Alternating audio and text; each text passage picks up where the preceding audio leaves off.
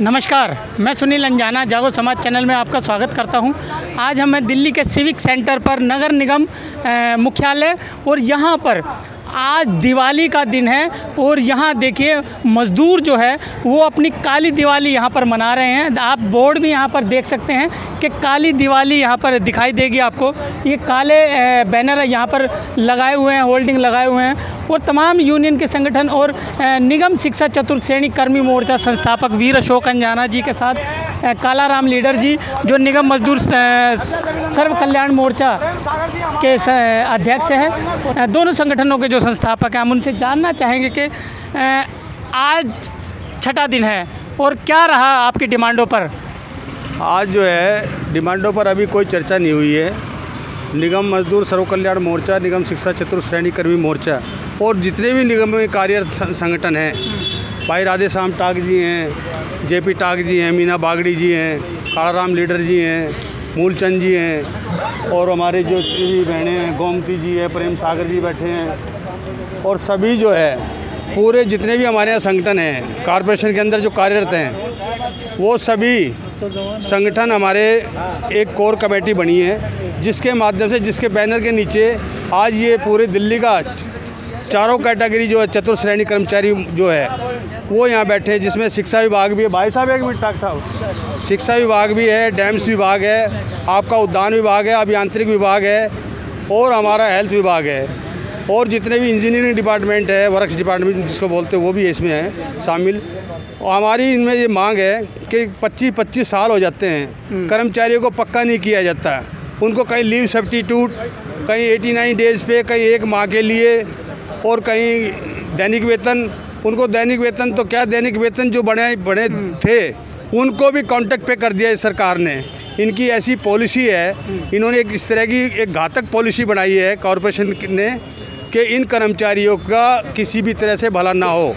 और हम ये चाहते हैं कि जो भी डेथ केस पे लगे हैं चाहे वो किसी भी विभाग से हो अन्य अन्य डिफरेंट डिफरेंट जितने भी विभाग हमारे यहाँ कॉरपोरेशन में हैं उन विभागों में उन सबको तो सताई जब उनका माँ या बाप या भाई एक्सपायर होता है लेकिन उनको कॉन्ट्रैक्ट पे नौकरी दी जाती है। हमारी मांग है कि उन सभी को पक्की नौकरी दी जाए और जो भी लाभांश है एक महीने के अंदर उससे सारे लाभांश दिए जाएँ।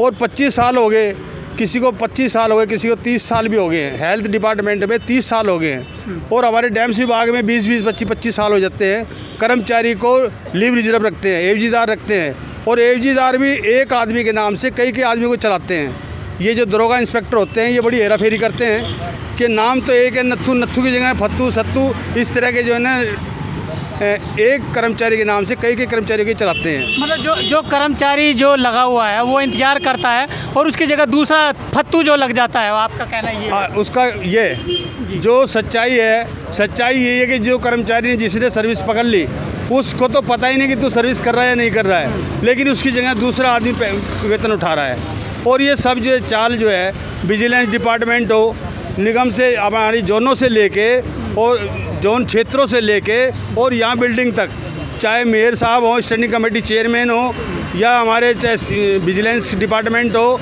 जो भी डिपार्टमेंट है, यहाँ सब बिका हुआ है, सब दलाली करता है, और ये हमारे कर्मचारियों को न्याय देने में नाकाम रहे हैं। आज दिवाली है, और आप दिवाली के दिन जो है सिविक सेंटर के गेट पर बैठे हैं, और तमाम यूनियन संगठन यहाँ पर बैठे आपके साथ। तो क्या आप आगे क्या रणनीति बना रहे हैं? आगे की रणनीति ये है कि अगर अगर इन्होंने पहली तारीख का हमारे को एक मैसेज वैसे शब्दों में दिया है, जो यहाँ के स्टैंडिंग कमेटी चेयरमैन है माननीय जयप्रकाश जी, उन्होंने कहा है कि पहली तारीख को मैं तीनों कमिश्नरों को, तीनों मेयरों को, स्टैंडिंग कमेटी चेयरमैन और सारे अधिकारियों को बैठा के मैं आपसे बात करूँगा। हमने कहा कि सौ दिन कम से कम निकालो।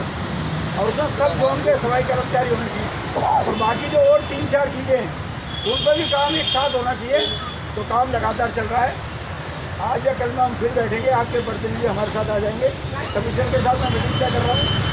उसमें विभाग के लोग और आप, हम सब इकट्ठे बैठ के रास्ता निकालेंगे।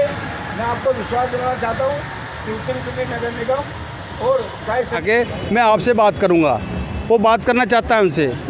अगर हमारी बात को जो, जो हमारी मेन मूल जो समस्या है वो है पक्का करने की। हम्म। जो कि जिन जिनको 20-20 साल हो गए 25 साल हो गए उनको पक्का नहीं किया जाता है और उनकी बात नहीं मानी जाती है। क्यों? कि पिछली बार हमने 107 दिन जब धरना दिया था इसी जगह पे इसी स्थान पर तो दीपक अस्थिर जी एडिशनल कमिश्नर थे और उसमें तीनों कमिश्नर मौजूद थे। उन्होंने कहा था लिखित में हमें दिया है कि इकतीस मार्च 2017 तक के सभी कर्मचारियों को पक्का किया जाता है। उसका ऑर्डर निकाला इन्होंने। लेकिन आज तक फिर वो ऑर्डर जो है वो धूल चाट रहा है। अभी तक हमारी कोई सुनवाई नहीं हुई है किसी तरह की ना किसी को पक्का किया गया है। और मोदी जी कहते हैं कि मैं सफ़ाई अभियान चला रहा हूँ। अगर जो मोदी जी सफ़ाई अभियान चला रहे हैं तो एक दिन के लिए, सिर्फ़ एक दिन के लिए झाड़ू उठा करके जैसे हम झाड़ू लगाते हैं, उसी तरह झाड़ू लगाए तो हम मान लेंगे। और दूसरा, गटर में उतरे। और जो उनके अनुयायी हैं, जो मोदी जी को लेकर चलते हैं, मैं उनसे ही कहना चाहती हूँ, एक आधा कोई भी आकर के गटर में एक बार मैं उतरने की भी नहीं कहूँगी, सिर्फ़ एक बार झाँक ले उसमें। तो मैं उनको मान जाऊँगी कि ये सफ़ाई अभियान चलाने वाले हैं और इनका सफ़ाई अभियान सक्सेसफुल भी है। अरे, सफ़ाई करने वाले हम, जो हम अपनी तनख्वाह से भी महरूम हैं, हमारे आज बच्चों को एजुकेशन नहीं मिल रही है। और हमारे जो, हमारे अनुयायी बाबा साहब, ये चाहते थे कि हर घर में, हर घर के अंदर पढ़ा लिखा नागरिक होना चाहिए। ऐसे ही ये हमारे बच्चों को पढ़ने देंगे। मोदी सरकार है या केजरीवाल सरकार है, ये हमारे बच्चों को कभी आगे नहीं आने देगी। कब आम पार्टी बीजेपी सत्ता में बैठी है, हम इन दोनों के खिलाफ प्रदर्शन कर रहे हैं, या धरने पर बैठे और प्रदर्शन करते रहेंगे। और धरना हमारा जो है ये, यहाँ से जब उठेगा, ये सैंतीस यूनियनें जो बैठी हैं आज, ये फैसला करके बैठी हैं, अगर हमारी मांगे नहीं मानी गई तो इस सिख सेंटर से ये धरना नहीं बैठेगा। फिर यहाँ पर पता क्या होगा? पानी, सीवर, गंदगी पूरी दिल्ली के अंदर फैला फैलाई जाएगी। हमने दो दिन सफ़र किया है कि हम पब्लिक को परेशान नहीं करना चाहते। कि इसलिए कि त्यौहार का टाइम है। करेंगे हम। पहली तारीख को हमें उम्मीद है कि शायद हो सकता है मीटिंग भी हो जाए तीनों कमिश्नर के साथ। अगर उसमें कोई डिसीज़न नहीं होता तो हम बड़ा आंदोलन करेंगे। हम दिल्ली की पब्लिक को परेशान नहीं करना चाहते। अगर करते परेशान तो हड़ताल करते दिवाली से पहले। हमने सहयोग किया दिवाली से पहले। दिल्ली की मतलब जनता आप को तो सहयोग कर रहे हो मगर आपके साथ सहयोग नहीं किया जा रहा। इंकलाब! हमारी मांगे! हमारी मांगे! हमारी मांगे। सफ़ाई कहेंगे राजेश जी आप प्रतिदिन प्रतिदिन यहाँ पर आप बैठे हैं और आप दिन हो रहा तो आप लोग सभी यहाँ पर जमे हुए बैठे हैं। क्या कहेंगे क्या प्रशासन के कानों पर जूम चली या नहीं चली? सबसे पहले सुनील अंजाना जी जागो समाज चैनल का धन्यवाद करना चाहूँगा कि समाज हित की बात हो या कर्मचारी हित की बात हो आप हर जगह पूर्ण सहयोग देते हो। जो सहयोग ऊपर बैठे अधिकारियों को, राजनीतिक लोगों को करना चाहिए, वो सहयोग आप करते हो।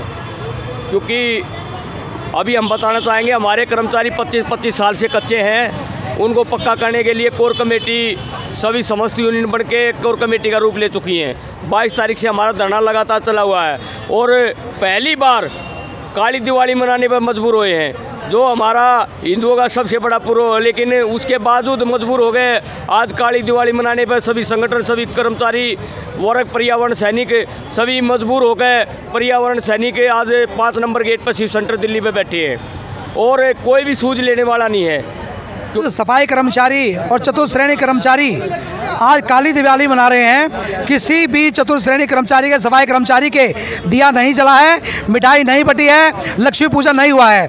अब हमने भी ये सौगंध खाई है कि अगर आगे हमारी मांगे नहीं मानी जाती तो हम दिल्ली के अंदर काम बंद हड़ताल करने जा रहे हैं और जितने भी ये नेता हैं, सभी नेताओं के घरों पर कूड़े का मार लगा देंगे और अब हम पीछे हटने वाले नहीं हैं, क्योंकि ये पूरी दिल्ली की आदरणीय कोर कमेटी बनी है। और कोर कमेटी के अंदर हमारे वरिष्ठ नेता, श्रेष्ठ नेता, हमारे मार्गदर्शक, ये कसम खाकर बैठे हैं कि हमारी मांगे इस बार आर पार की लड़ाई होगी और जब तक हमारी मांगे नहीं मानी जाएँगी, हम इस बार पीछे नहीं हटेंगे। मुख्यालय का भी और दिल्ली सरकार का भी और भारतीय जनता पार्टी के जो नेता बैठे हैं, उनकी भी ईट से ईट बजा देंगे। अब हमारा एक ही प्रणय होगा या तो हमारी मांगे मानी जाएँगी, वरना और आप शिक्षा विभाग से हैं, क्या कहेंगे, क्या प्रशासन पर भरोसा है? देखिए सर, जिस तरह से हर बार हमारे साथ धोखा होता आया है और धोखा ही हो रहा है। भरोसा तो नहीं है, हमारी तो एक ही मांग है कि आज 2019 चल रहा है। वो लोग टुकड़ों में पाँच पाँच, चार चार कर्मचारी पक्का करना चाहते हैं। हमारा एक ही मांग है कि 2017 तक सभी को नियमित किया जाए। हर संगठन के 50-50 आदमी यहाँ पर आने की बातें चल रही हैं अब। और आने वाले समय में यहाँ पर एक ही रात में 3600 आदमी रुकने वाला है। प्रशासन की नींद हराम होने वाली है। प्रशासन की नींद हराम हो जाएगी। प्रशासन की नींद हराम होने जा रही है सर। 3600 आदमी यहाँ पर रात को रुकेगा। हर संगठन से 20 20 50 50 आदमी 60 60 आदमी। और उन 3600 आदमियों ने अगर जो एक एक तंबू भी यहाँ लेकर आए तो यहाँ जल जला मचने वाला है। निगम के तीनों मेयर हो सावधान हो जाओ। हम इसकी ईंट से ईंट बजा देंगे और अपनी मेरी तरफ़ से ये है मैं ये चाहता हूँ हमारा काम होना चाहिए। किसी तरह हो या हम धर- धरने पे पड़े रहेंगे। हमारे शरीर को देखा जाए तो हम बहुत परेशान हैं। हमारी हमारी हालत ख़राब है। हम मच्छरों से भी लड़ लेंगे। पर हमारे को यहाँ पड़े रहना है हम पड़े रह सकते हैं यहाँ पे। चाहे कितने देर तक पड़े रहो हमारे को कोई दिक्कत नहीं हमारा काम होना चाहिए। को डर नहीं लगता आप हार्ट पेशेंट वैसे हैं जितने भी वीर अशोक अंजाना जी आप हैं और भी तमाम कई लीडर है जो हार्ट पेशेंट है और वो रात को यहाँ रुकते हैं तो आपको डर नहीं लगता आपकी तबीयत खराब बिगड़ जाए कोई कुछ हो जाए तो प्रशासन क्या इसका जवाब दे दही होगा? नहीं नहीं नहीं हमें डर किस बात का? समाज की दुआएँ मजदूरों की दुआएँ सच्चे हित के लिए हम यहाँ बैठे हैं। उनकी दुआएँ हमारे साथ हैं। हमारे साथ ना तो कोई बीमारी लगेगी, ना हमें, ना कोई नुकसान होगा।